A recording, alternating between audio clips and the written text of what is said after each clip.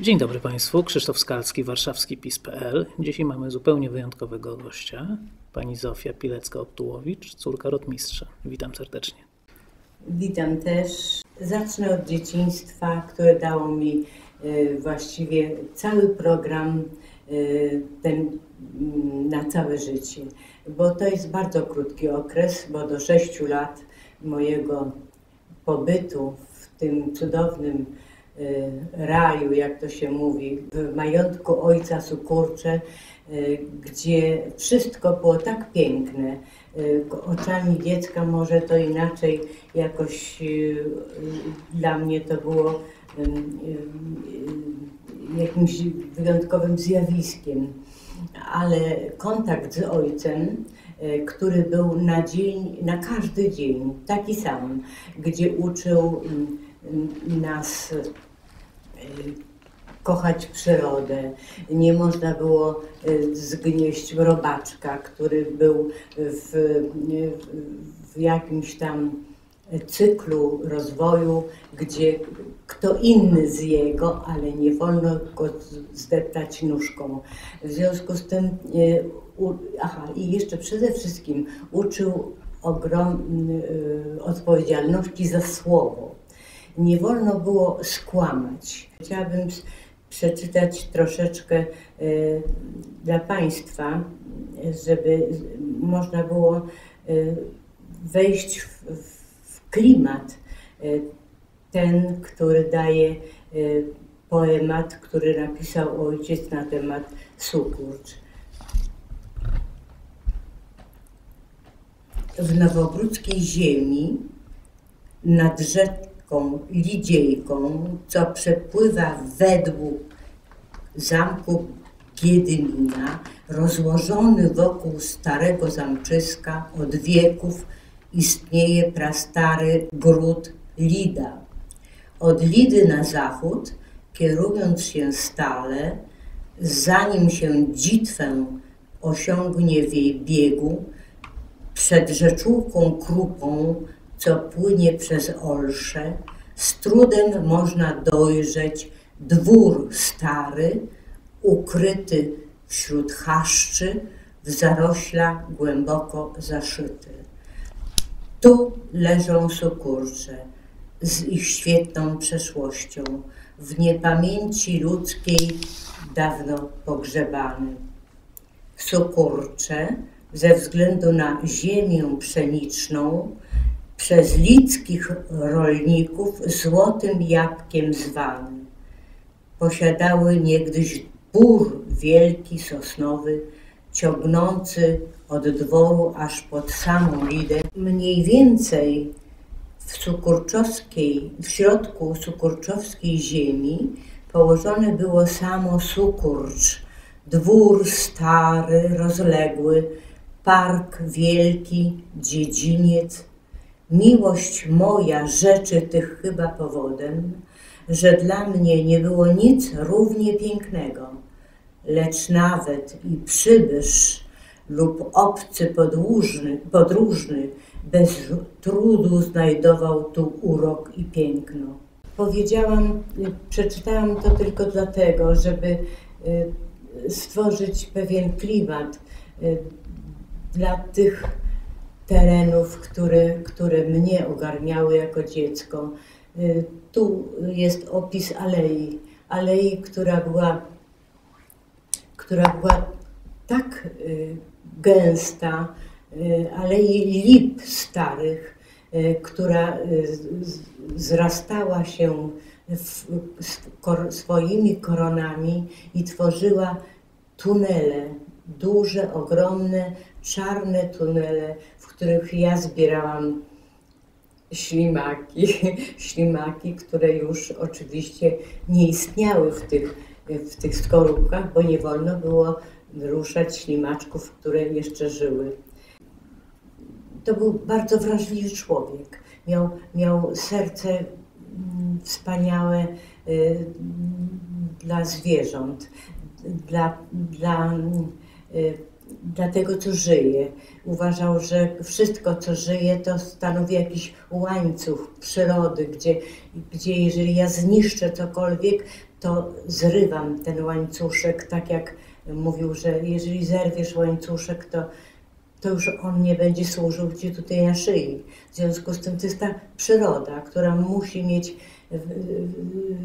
te ogniwa swoje spojowe, spojone ze sobą i, i właśnie uczył tej odpowiedzialności nawet za mm, tą naszą przyrodę, o której musimy dbać. W 1939 roku mm, musieliśmy tego ojca pożegnać i on poszedł na wojnę, a my zostaliśmy w tym majątku, gdzie mm, bardzo szybko, w, w mniej więcej w połowie 20 y, września moja mama musiała nas zabrać z Sukurcz i w pełnym pośpiechu y, zaprowadzić do wsi, do gospodarzy, y, gdzie ukryci byliśmy w jakiejś tam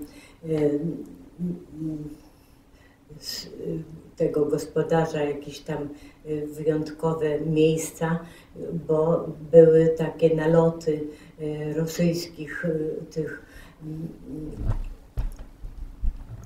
bojówkarzy, którzy, którzy nawet bagnety wbijali w, w powiedzmy w, w poduchy piękne gospodyni czy pierzyny i szukali, że może tam są ukryci jacyś ludzie. Y, gospodyni czy mama wrzucała nas w tej sytuacji, kiedy już widzieliśmy, że jest taka nagonka na, na tą wieś, y, wyrzucała nas na, poza y, teren, nawet w śniegi, w mokre jakieś miejsca, aby tylko nas uchronić. W związku z tym widać było, że to już nie ma możliwości utrzymania się przy tym majątku naszym, y, ani w, tym, w tej krupie, gdzie mama pracowała. Zresztą dostała y, informację, że mm, już mm, jest w drugim transporcie do wywózki.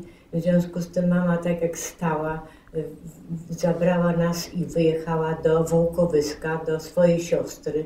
E, która tam była nauczycielką także i, i e, zorganizowała jakieś tam pieniądze, żeby mieć na, e, na tego,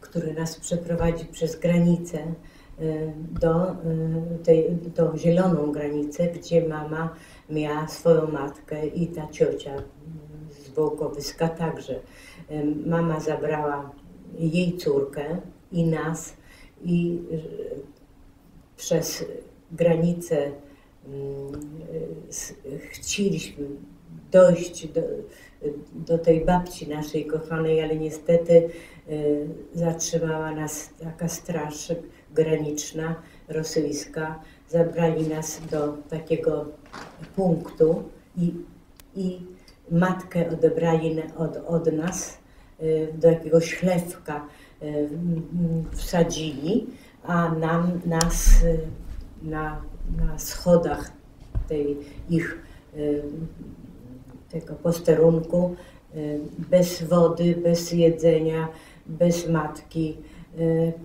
Kopali nas po tych schodach, przechodząc. No to była wielka dla nas jakaś nauka pierwsza, taka tragiczna, ale zawsze, zawsze myślałam o tym, że, e, że ojciec mówił, że e, mam być bardzo dzielna, że, że ten, e, ja zresztą tak myślałam, że nie wtedy, ale trochę później, że ten ojciec miał czas, miał czas, kiedy dane mu było, żeby nauczyć nas żyć, że, żeby w każdej sytuacji umieć sobie w jakiś sposób poradzić. I, i to, mi, to mi właśnie jakoś tak dawało mm, tą siłę. Nawet wyszłam sama z tego, z tego, mm, z tych, z tego posterunku, bo, bo po prostu chciałam zobaczyć, gdzie ta moja mama jest. I zobaczyłam ubikację, która do, do, dochodziła do tego chlewka i, i pukałam, żeby mamy, mamie dać znać, że, że jesteśmy, że, że żyjemy i tak dalej. No a po, potem, e, potem po e, tej nocy strasznej e, była rewizja niesamowita Zabrali mamusi wszystko, nawet obrączkę i pierścionki, jakieś, które miała na palcu. Y, y, a ja miałam warkoczyk y, i w warkoczyku miałam w, w, wpleciony łańcuszek złoty z Matką Boską Ostrobramską od chrztu. I, y, I jeszcze pamiętam, że miałam staniczek y, malutki taki, gdzie były w, w, w, y, gdzie były wszyte pieniążki. I jak wszystkich zrewidowali i mnie chcieli rewidować, to ja w tej chwili zaczęłam tak strasznie płakać, tak strasznie krzyczeć, że ta, y, ta która chciała mnie dotknąć, to odrzuciła mnie na ścianę i y, po prostu dała mi święty spokój. I takim cudem, ja zresztą miałam, y, ja tak sobie właśnie wyobrażałam, że ona mi da spokój święty, jak ja tak będę strasznie krzyczała. I i takim cudem uchroniłam Matkę Boską Ostrobramską, łańcuszek i w pewnym momencie po tej rewizji puścili nas. Puścili nas i myśmy tacy bardzo byli głodni, pić nam się chciało. Pamiętam zapach chleba, który mi towarzyszył przez drogę do y, stacji, y, no ale nie było pieniędzy, bo przecież ja miałam wszyte pieniążki, a nie było pieniędzy y, tak, żeby kupić chleba, kawałek czy bułki. I doszliśmy do stacji. W tym momencie przyjeżdża taka salonka i z powrotem zgarnia nas wszystkich do tej salonki a mama tylko y, odepchnęła mojego brata i mówi uciekaj. Uciekaj, idź do, do ludzi, do wszystkich, do, byle do kogo, tylko proś o pomoc, a ja z Zosią już zostanę. I, ale on, on był bardzo mm, słaby psychicznie, y, mój brat dostał takiego rozstroju, e, który się mm, miał rozwolnienie, nie, trzymał się mamy i mama już tak go zostawiła, więc wszystkich nam zabrali z powrotem po to tylko, żeby przywieźć na to samo miejsce i z powrotem nas puścić. Myśmy w ogóle nie mogli zrozumieć, dlaczego to się tak stało. No ale tak było. No więc w, w, końcu doszło do tego, że ta ciocia z Wołkowyska, ponieważ miała tu swoją córkę też, e, a jeszcze, jeszcze przepraszam, że tak przedłużam, ale to już więcej, więcej nie powiem, a to, co powiem, to już jest tak jakby moja y, ostatnia rozmowa na te tematy. Y, ta właśnie moja siostra cioteczna, jak ci Rosjan, Rosjanka zaczęła ją y, też y, y, rewidować, to ona zaczęła powiedzieć co i miałam 18 czy 16 lat, już nie pamiętam, i, i tak od matuszki podobno im powiedziała, na cały głos krzyczała, co do tego owego. I oni ją puścili, bo oni e, ty, wtedy są silni, jak ktoś płacze. Tak jak mama płakała, kiedy odebrali obrączkę. A tu, gdzie zobaczyli siłę jakąś, e, determinację, że, że tego, puścili tą dziewczynę. No i mniejsza o to, w każdym razie dotarliśmy do tej, do tej mm, zielonej granicy po raz wtóry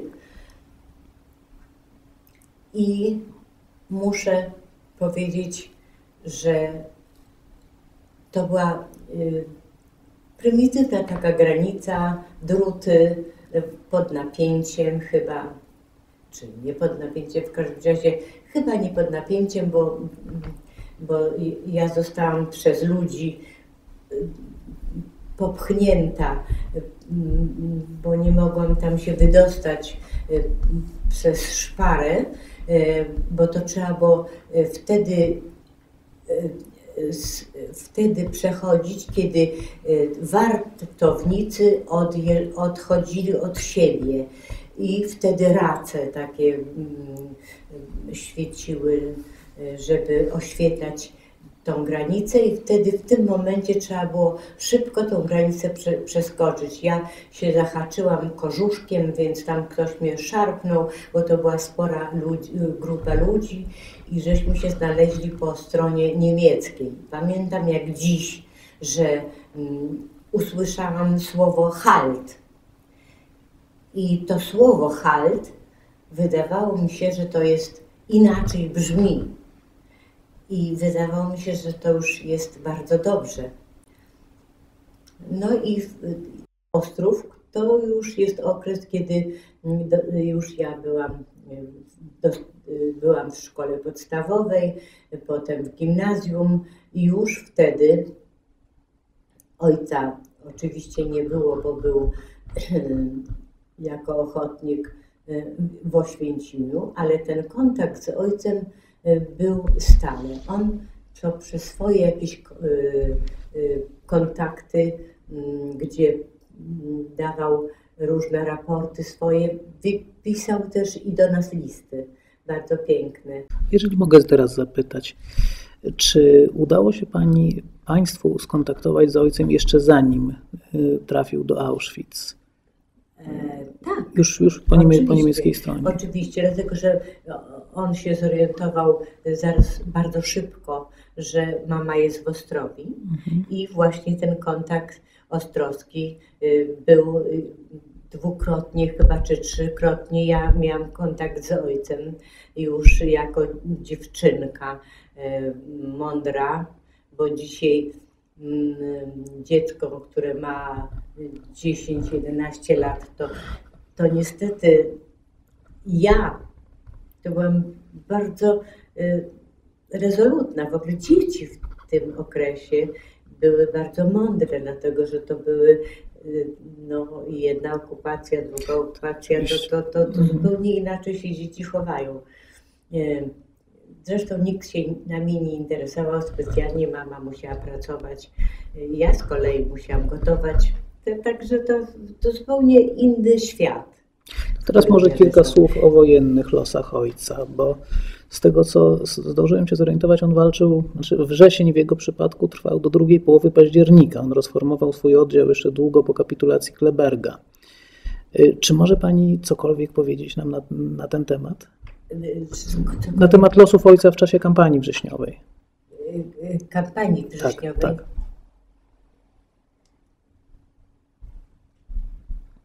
Znaczy 39. Tak, tak, tak. tak. No ni niestety, no ja miałam wtedy 6 lat. To, mm -hmm. to, to, to, nawet nie miałam mm -hmm. całego 6 lat. Ja tego widziałam ojca na y, jego bajce, na, na tej pięknej klaczy. Jak y, wyjeżdżał. żegnał mm -hmm. nas w, w Krupie. Mhm. Mm, już nie w majątku w Sukurczach, tylko w Krupie. Y, także, że ja tylko pamiętam, że podniósł mnie ktoś mu podał mnie na ręce i on uściskał mnie już na koniu. A, ale tak, to, to, to, to ja tych rzeczy nie pamiętam po prostu. Natomiast pamiętam doskonale, e, ja pamiętam doskonale już potem okres po Oświęcimiu, kiedy ja już do ojca przyjeżdżałam do Warszawy. Ojciec mnie uczył konspiracji. Zabierał mnie ze sobą do, do tramwaju. Je- Jeździł ze mną po różnych miejscach. E, Kazał mnie iść e, o wiele wcześniej od siebie. Jeżeli zobaczę jakiś posterunek niemiecki, który jest idący y, żołnierze niemieccy, to ja mam y, dać mu znać, y, że y, skręcić w stronę albo wystawy jakiejś, albo ściany, która w tym momencie jakaś się tam y, pojawiła, żeby dać mu znać, że groził mu niebezpieczeństwo. Oczywiście to wszystko było nieprawda, bo y, ojcu nic na razie nie groziło, tylko żeby uczyć nas, no właściwie mnie, bo y, ja nie, nie, nie pamiętam, czy brat chodził na takie y, szkolenia. To nie, nie pamiętam.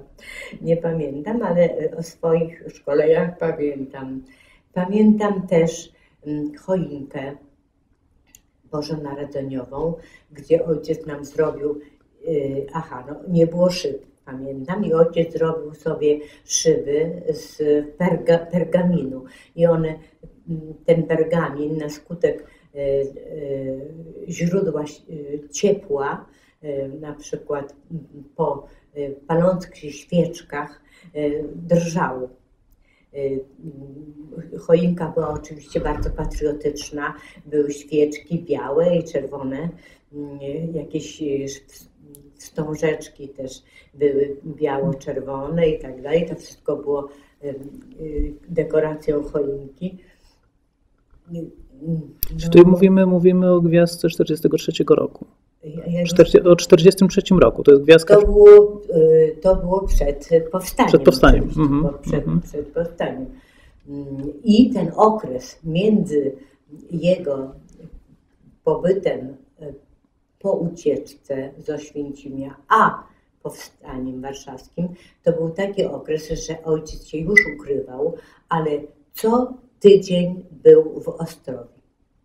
Jeżeli nie myśmy nie byli w Warszawie u niego, to, to on przyjeżdżał do nas w sobotę po to, żeby być z nami przez sobotę i niedzielę i potem tego. I był jeden pociąg taki, który, e, na który ja czekałam zawsze, dlatego że to był wieczór, późny wieczór mm, i ojciec tym pociągiem przyjeżdżał.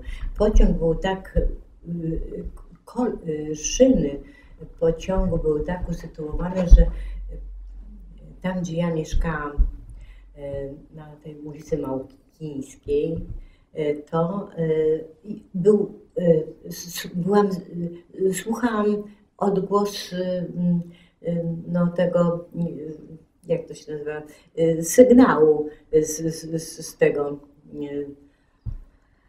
E, e, Z parowozu, z tak? parowozu. Gwizdu. Z parowozu. I, i, I cały czas tak, tak w tym napięciu czekałam na ojca. I dlaczego ja to mówię? Dlatego, że 8, e, 12 maja to jest dzień imienin mojego, mojej mamy. I ojciec 12 maja musiał być u mamy. Mhm. I ja cały czas czekałam, czekałam, czekałam i niestety nie doczekałam się. Nie doczekałam się i to była już późna y, godzina i widocznie ze zmęczenia y, usnęłam. Pokój, w którym y, ja spałam, zresztą obok mnie spała mama, y, y, graniczył z, z takim ym, chodnikiem, y, gdzie trzeba było iść, żeby dojść do tego domku. Także ja y, cały czas y, byłam w śnie, ale cały czas myślałam, że usłyszę może kroki ojca. I to też rzadko kiedy mówię, ale powiem, ponieważ to jest taki bardzo kameralny nastrój, nie ma ludzi, więc można mówić różne rzeczy. Ja w pewnym momencie y, usłyszałam stukanie. Takie w szybę. Więc ja się zerwałam, była cała mokra, y, y, pot niesamowity na czole i mamo, ojciec. I otworzyłam okno, ale ojca nie było.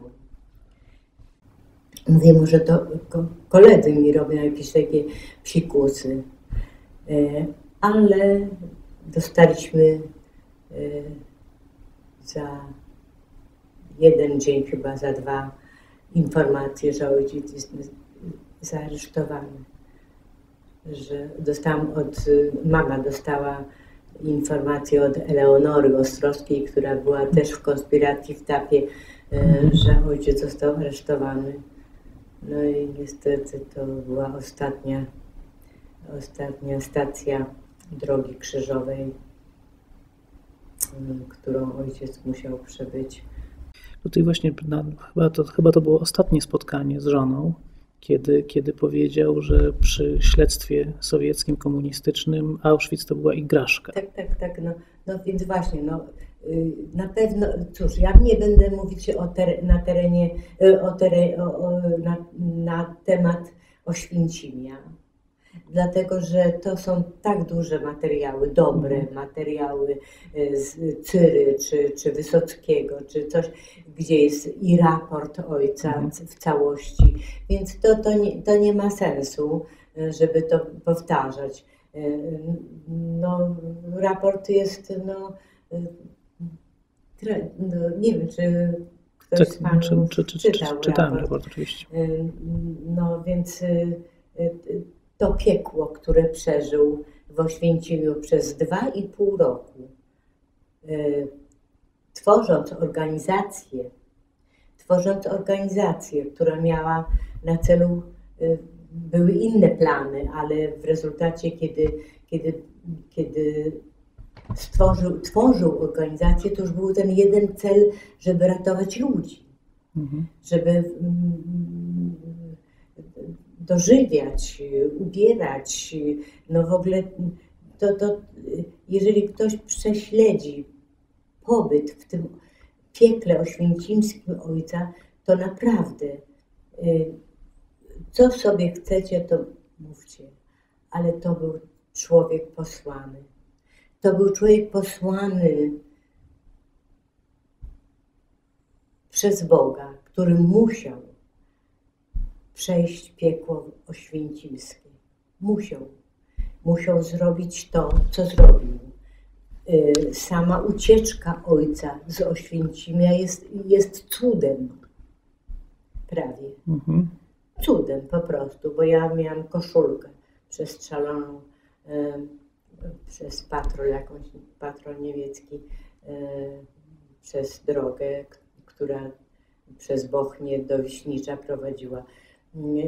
Także, e, no to, no nie wiem, dla mnie to rzeczywiście jedna ze stacji drogi krzyżowej. I ta ostatnia droga krzyżowa to była najstraszniejsza, najstraszliwsza która na podstawie, na tej straszliwej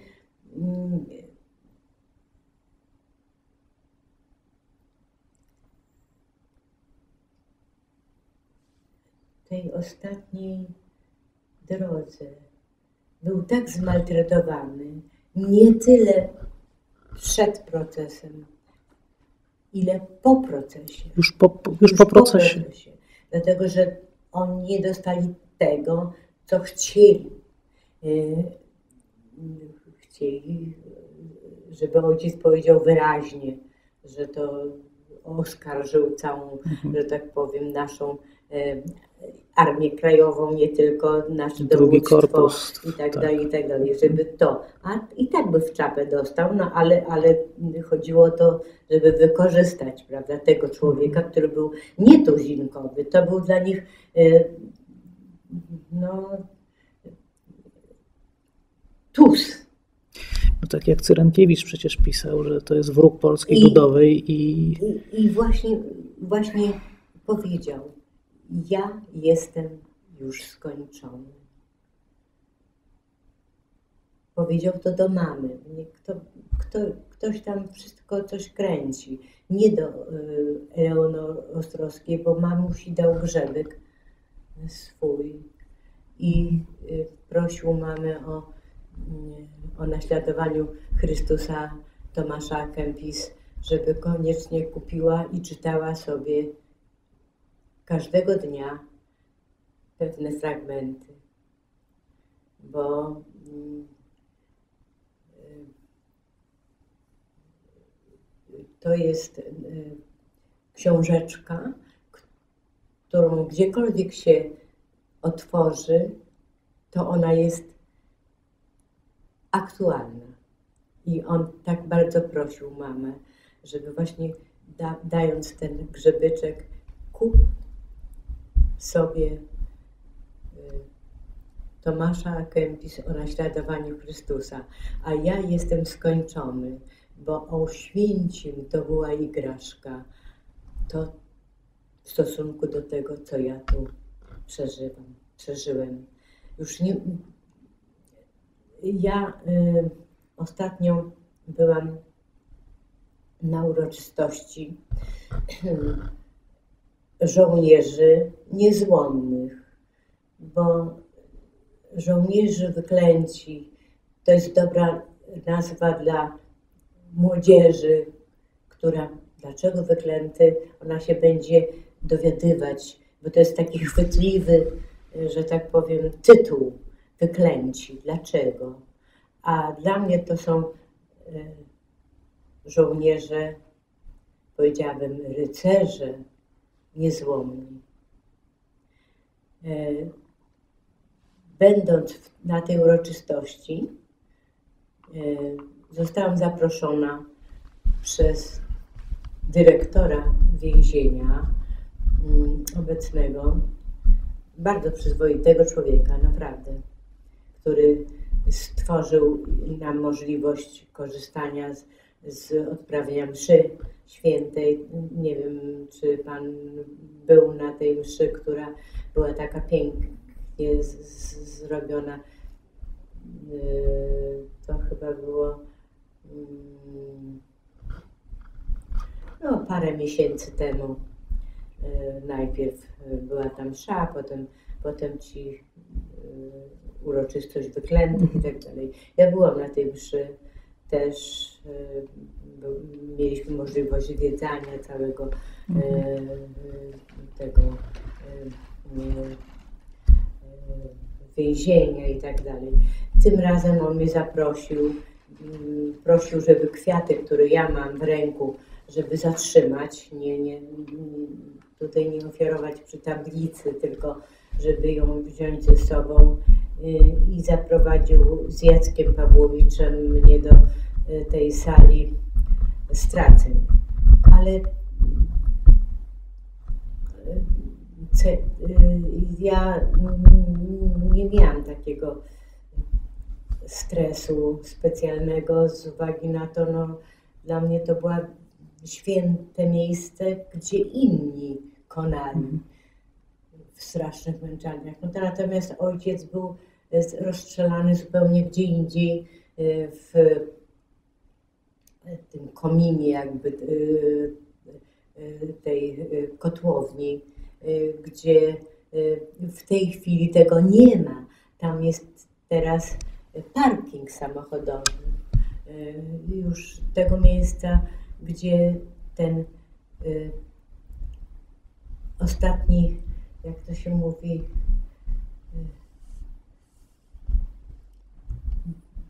tchnienie mojego ojca było, to nie ma tego miejsca. Natomiast, natomiast ja jestem od 1990 roku, y, 25 maja o 21.30, w momencie, kiedy w prokuraturze wojskowej dowiedziałam się, y, kiedy to nastąpiło, to rozstrzelanie mojego ojca, y, od tej pory jestem dzień, co roku o tej samej godzinie, nawet gdybym była nie wiadomo gdzie, 100 kilometrów od Warszawy, to ja jestem o tej samej godzinie zawsze. I na początku było tak, że ja, tylko ja i mój mąż, potem córka moja z dziećmi, potem inni za, zawsze wracający z, z pracy zaczęli się interesować, dlaczego o tej porze palimy znicze i stawiamy kwiaty. Ja mówię, no, że mamy taką tragedię rodziną, która miała x lat temu miejsce, a teraz jest ta godzina, kiedy święcimy y, ten czas. I tak się stało, że od zeszłego roku, y, czyli 11, 2011, czyli do, do, do 2010, to byliśmy ogromną grupą ludzi, tylko i wyłącznie zainteresowanych, co ja mogę im powiedzieć przez rok, który minął. A więc opowiadałam im o szkołach, które się tworzą e, imienia Witolda Pileckiego, o tablicach, o y, ulicach, o y, pomnikach. I każdego roku oni sobie uzupełniali informacje. Natomiast w zeszłym roku zupełnie nie, bez mojej e, ani wiedzy raptem przyjechała cała ekipa e, Katyniaków, e, z Katynia. Na Motocyklistów. Mhm. Ten rajd katyński. No więc natychmiast znalazła się suka, policja, ksiądz z nimi. I jeszcze ja nie zdążyłam nawet dojść, jak to była ogromna już grupa ludzi, która czekała na mnie i ta grupa tych, którzy przyjechali razem z księdzem, e, który święcił i tak dalej. Więc e, podeszła policja i mówią, y, że proszę się rozejść, dlatego że to jest niezgłoszone. Ja mówię. Niesamowita historia. Ja, ja mówię, ja bardzo przepraszam. Proszę z nami razem się pomodlić. Bo ja nie, nie, nie wiem, ja jestem y, córką y, rotmistrza Witolda Pileckiego, który dziś x lat temu o godzinie 21.30 skończył życie. I ja jestem od lat tutaj, a że tak się stało w tym roku, to ja naprawdę nie wiem. I bardzo proszę, dajcie nam zakończyć y, tą y, naszą uroczystość, która dla mnie jest, osobiście dla mnie jest zaskoczeniem. i poszli. Oczywiście nie byli e, w modlitwie z nami, ale poszli, więc ja przynajmniej... po zakończeniu poszłam do nich i podziękowałam im e, za ich... Że przynajmniej nie przeszkadzali. Tak, że, że, że do końca wytrwali. No i tak się skończyło. A przepraszam, czy, czy możemy się cofnąć? Co będzie w tym roku? Nie wiem. Nie wiem, ale mam wrażenie, że rajd katyński przy, przy, przy, przyjedzie, ale y, mając mhm. na uwadze te uroczystości, te kłopoty z poprzednim rokiem, to może ja, może dziś muszę, nie wiem, czy oni będą chcieli honorować, ale ja liczę na tego dyrektora tym razem. No, miej, miejmy nadzieję, że jednak zachowają się przyzwoicie. No to ciągle jest polska policja, więc no jest nadzieja, że nie będą was legitymować, czy, czy nie daj Boże robić gorszych rzeczy. Natomiast czy możemy się cofnąć teraz jeszcze o 20 lat, do 89 roku, w zasadzie 90, bo w 90 roku wyrok skazujący na ojca został unieważniony. Jak, jak pani pamięta, jak, no, no można powiedzieć chyba batalię o pamięć ojca, jak, jak to się rozgrywało w czasie? Bo przez pierwsze 10-15 lat no, Polski niby niepodległej. Ja od samego początku. No pa, pani tak, ja była, ale... Jako jedna jedyna. Właśnie, właśnie. Jako jedna jedyna. Bo... Czyli państwo polskie poza unieważnieniem wyroku w 90 roku przez pierwsze nie, lata w ogóle się nie interesowało postacią rotmistrza. 980, jak to jest, o rok wcześniej, to będzie w 89. 9, mhm. odpowiedziało oficjalnym pismem, że nie widzi możliwości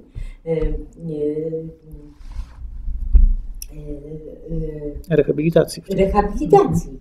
A za rok była ta historia. Mhm.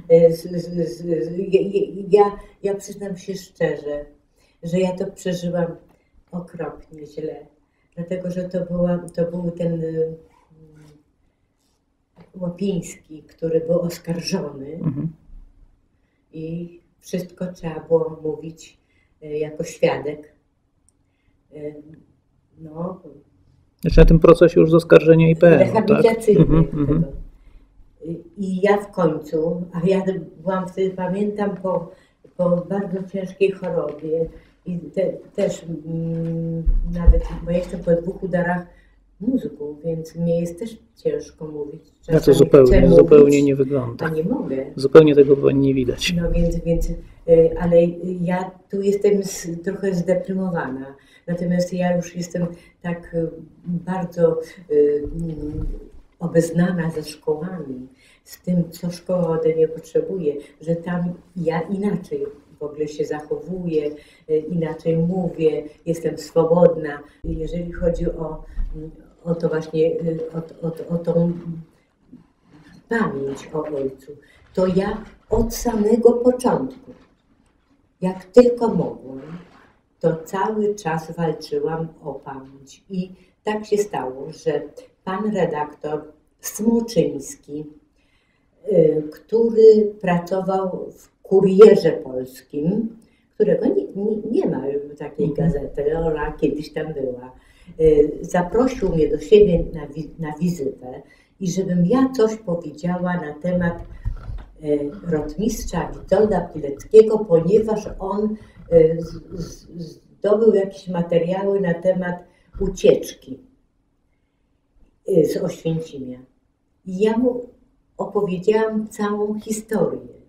I on napisał artykuł pod tytułem Cztery drogi rotmistrza Witolda Pileckiego. Mhm. I ten artykuł z moim zdjęciem ówczesnym ukazał się w gazecie. I oczywiście pan redaktor Juliusz Smoczyński został natychmiast zdegradowany. Został zwolniony z pracy.